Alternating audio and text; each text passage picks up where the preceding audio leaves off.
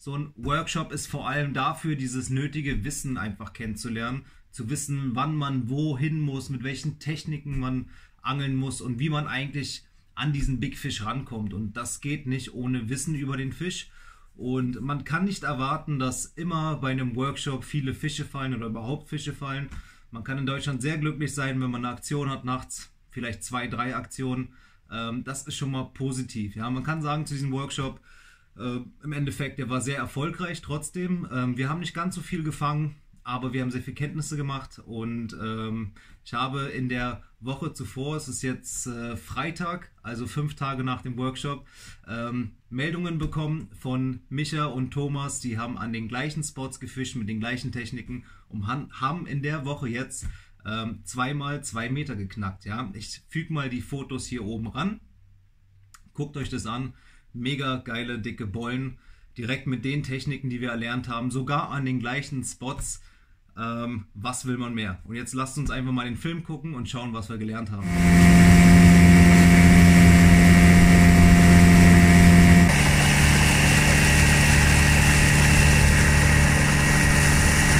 Moin Moin, hier ist wieder Dudi von der Ausleger und heute bin ich wieder auf Workshop, diesmal an der wunderschönen Oder.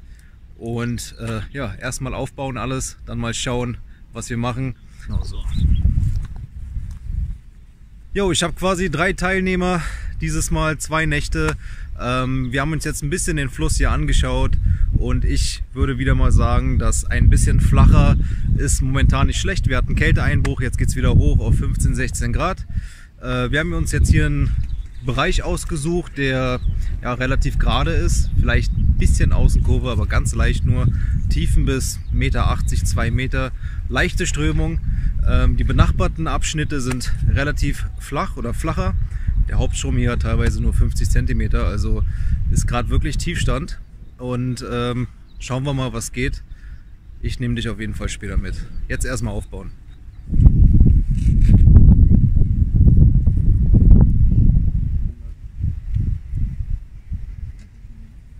Aaron, komm her. Ja, irgendwie so auch so. Wie so Gage ist das irgendwie. Also Keine Hauptsache, Ahnung, die lösen sich irgendwann auf, weißt du? Ja, wahrscheinlich nicht. Ja, ganz blöd. Sehen wir nochmal deine Montage? So. Also wie gesagt, unten doppelt genommen, oben Medusa mit äh, drei Würmern pro Clip, einfach nur um ein bisschen mehr Köder anzubieten. So sieht es dann in der Strömung aus. Ist auf jeden Fall genug dabei. Na dann, bringen wir raus.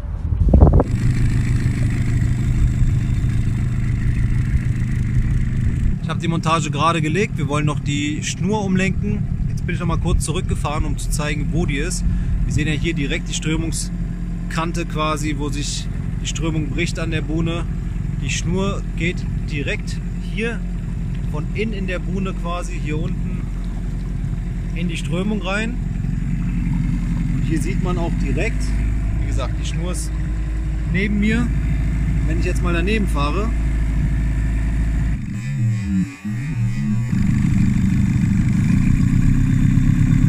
kann man wunderschön den Aufbau einer Buhne sehen, also von vielen Buhnen, wo hier auch die meisten Fehler passieren. Also es ist kein Fehler im Sinne davon, dass dort gar nichts funktionieren würde, aber es ist jetzt einfach zu der Zeit nicht die passende Strategie.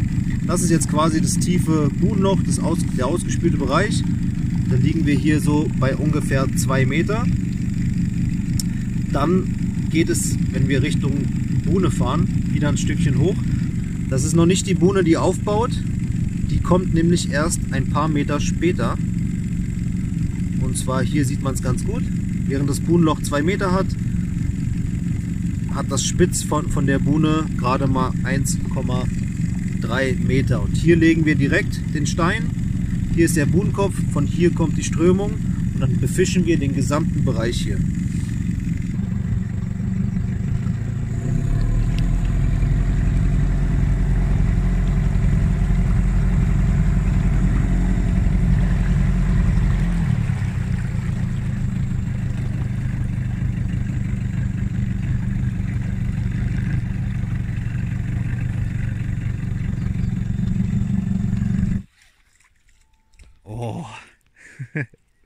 Wunderschön. So, wir haben jetzt schnell umdisponiert, haben nochmal schnell einen Bumerang-Rig rangebastelt, einfach hier mit einem mit einem stabilen Sprengring XH. Ja, und das Vorfach ist das gleiche. Kam auf Tornado. Einen wunderschönen guten Morgen, Petri, dem Fänger. Wir haben jetzt den Fisch rausbekommen, der uns wahrscheinlich gestern ähm, den Fehlbiss verursacht hat. Wir haben jetzt mit Boomerang gefischt und dadurch hing der ganz gut, trotzdem relativ spitz am Drilling. Aber Fisch ist Fisch. Willst du den mal präsentieren? Hier kann man schön drin greifen.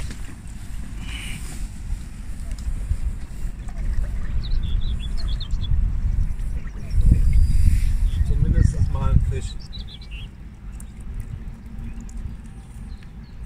Wird der haben einen guten Meter, aber? Ja, vielleicht einen Meter. Henry! Danke, sagt man. Der redet schon die ganze Zeit mit mir. Der schläft noch. Ich bin am Schlafen. Der ist sauer, dass er nicht größer ist.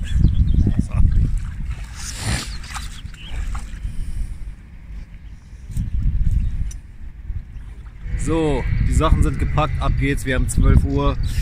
Jetzt suchen wir uns einen Spot.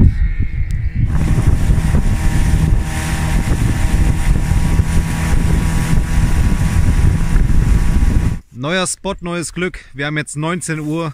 Das heißt, perfekt, um die Würmer auszulegen. Wir haben jetzt eine tiefere Außenkurve angesteuert, so mit Tiefen bis ungefähr drei Metern, mit relativ großen Buhnen, mit Flachwasserbereichen.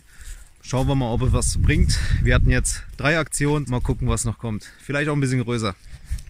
Ich bin Rechtshänder, ich kann das nicht.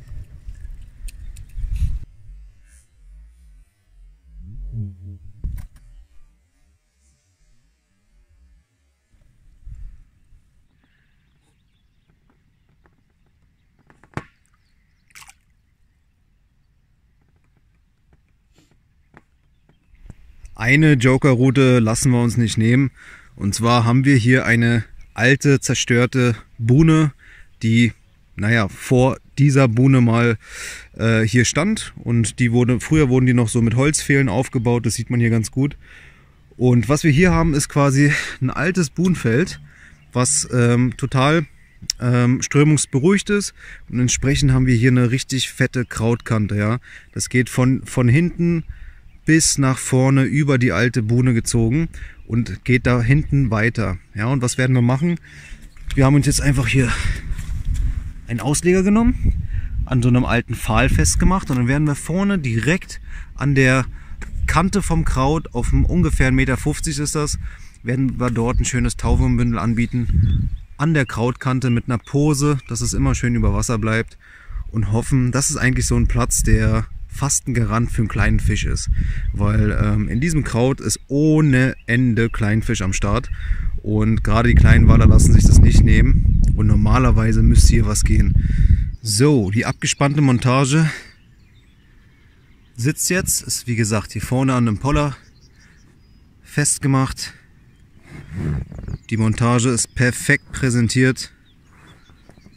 Hier vorne ist die Krautkante, die sich hier so lang zieht. Ich versuche das mal zu zeigen. Und das Vorfach. Das Vorfach ist direkt hier an der Krautkante präsentiert. Einfach mal ein bisschen tiefer tauchen, um zu merken, dass die Montage frei ist. Ja, direkt an der Krautkante. Die Pose ist einfach nur dafür da, dass falls es mal hier beim Auslegen ein bisschen schlaffer ist, ne, dass die Montage nicht auf den Boden geht, weil da ist auch alles voll mit Kraut. Ja, der Wirbel ist aus dem Wasser gespannt. Spiralwirbel mit so einem kleinen Solid Ring zum Eindrehen.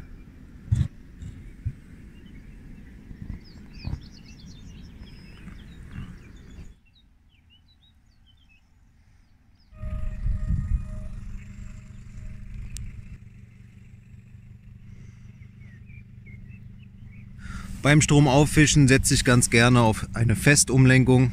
Das kann man natürlich hier mit so, einer, mit so einem Dreibein realisieren oder mit einem Bankstick oder irgendwas, was fest ist. Es geht einfach nur darum, dass die meisten Fische natürlich Strom abziehen, also mit dem Strom flüchten und wir dann am Spot selber fast nichts mitbekommen. Mit, mit so einer Festumlenkung auf weite Distanzen, gerade Strom auf, habe ich immer direkten Kontakt zum Fisch und kann dann halt auch wunderbar die Bisse erkennen.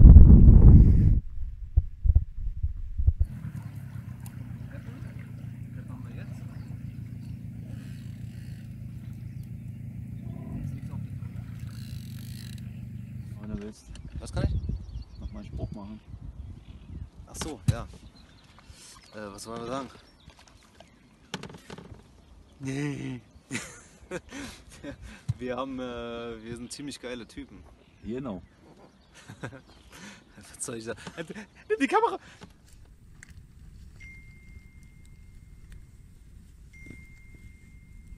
Bist du happy? Ja. Ja, sagt er.